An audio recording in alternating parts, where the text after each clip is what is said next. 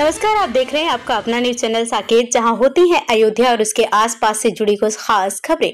Unique अकादमी में report card वितरण के साथ मेधावियों को किया गया सम्मानित। जी हाँ, अयोध्या में unique academy, ITI, Beniganj Mahavirpuram निकट बड़ी बुआ शाहजहांपुर में समारोह पूर्वक छात्राओं को रिपोर्ट कार्ड का वितरण किया गया। कार्यक्रम का प्रारंभ आए हुए मुख्य अतिथि के पी सिंह और विद्यालय प्रबंधक राजीव त्रिपाठी द्वारा सरस्वती जी के चित्र पर माल्यार्पण और दीप प्रज्वलित करके किया गया। तत्पश्चात बच्चों को रिपोर्ट कार्ड का वितरण किया गया। विद्यालय में अच्छे नंबरों से पास मेधावी छात्राओं को पुरस्कृत करते हुए सम्मानित किया गया।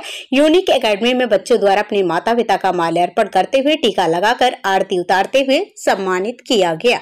यूनिक अकेडमी में पढ़ाई के साथ साथ बच्चों में संस्कार की भी शिक्षा दी जाती है, जिससे आने वाले समय में वहाँ से पढ़कर निकले हुए बच्चे अपने जीवन में अपनों से बड़ों लोगों का सम्मान करते हुए सफलता की ऊंचाई पर पहुँच सके और विद्यालय के प्रबंध समिति और शिक्षकों द्वारा यहाँ पर पढ़ने वाले छात्र छात्राओं को पढ़ाई के साथ साथ हमारी भारतीय संस्कृत सभ्यता का भी पाठ पढ़ाया जाता है। आए हुए मुख्य अतिथि, शिक्षाविद के पी सिंह ने कहा कि यूनिक एकेडमी में बच्चों की पढ़ाई के साथ साथ उन्हें संस्कार की भी शिक्षा दी जा रही है, जिससे अपने माता पिता और बुज़ुर्गों का सम्मान कर सके। कार्यक्रम में अंत में विद्यालय प्रबंधक राजीव त्रिपाठी ने आए हुए अतिथियों और अभिभावकों का आभार व्यक्त किया। इस अवसर पर मुख्य रूप से आचार्य शिवेंद्र सहित विद्यालय के समस्त अध्यापक, अध्यापिका और स्टाफ मौजूद रहे। उनके भीतर जगाया गया है, जगाने का एक प्रयास किया गया है। इसे आप सामान्य मत समझिएगा। ये लगभग 10, 15, 20 सालों के बाद बच्चों पर इसका असर पड़ेगा। अभी बच्चे छोटे हैं बहुत सी चीज़ें समझेंगे बहुत सी चीज़ें नहीं भी समझेंगे। लेकिन जीवन में हर व्यक्ति के अहंकार का टूटना ज़रूरी है। ये एक बड़ी बारीक चीज़ है। हर व्यक्ति के भीतर सूक्ष्म रूप से छोटे रूप में कहीं न कहीं अहंकार होता है। ये शरीर ये मन जल्दी झुकना नहीं चाहता किसी के सामने। जब हम लोग छोटे थे, पढ़ते थे तो इतना केयर नहीं होता था जितना आज हो रहा। इस लाइन को आप दूसरे दूसरे रूप में मत समझिएगा। मैं जो यूनिक एकेडमी द्वारा मातृपित्र पूजन का ये कार्यक्रम था। साथ ही साथ रैंक होल्डर जो बच्चे थे, उनको सम्मानित करने का कार्यक्रम था।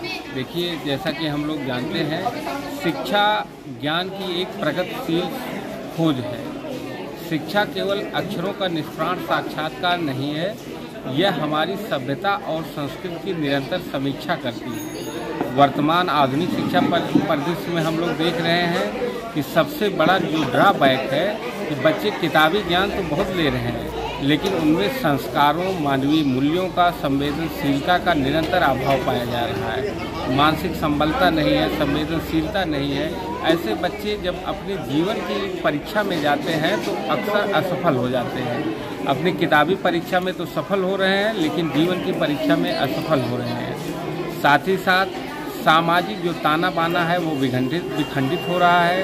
पारिवारिक जो ताना बाना है, संस्कार है माता पिता की सेवा है, वो विखंडित होते चले जा रहे हैं। अब हमारी ये शिक्षा व्यवस्था, हमारे विद्यालयों का ये दायित्व तो है कि बच्चों के शुरुआती लेवल में, जिसमें ये कहा जाता है कि शैशव अवस्था में ही, बाल्यावस्था में ही मतलब प्राथमिक शिक्षा में ही बच्चों के दिमाग में संस्कारों का ऐसा बीज रोपण कर दिया जाए कि आगे आने वाले समय में बच्चे अपने मूल्यों से, कर्तव्यों से, उत्तरदायित्वों से विमुख न होने पाए। इस दिशा में मैं प्रशंसा करना चाहूँगा कि यूनिक एकेडमी द्वारा इनके प्रबंधक के द्वारा, प्रिंसिपल के द्वारा और यहाँ के स्टाफ के द्वारा शानदार अभिनव प्रयोग किया गया। रैंक, जो बच्चे रैंक होल्डर हैं, उनकी समाज के प्रति ज़िम्मेदारी निश्चित तौर पर बढ़ गई है।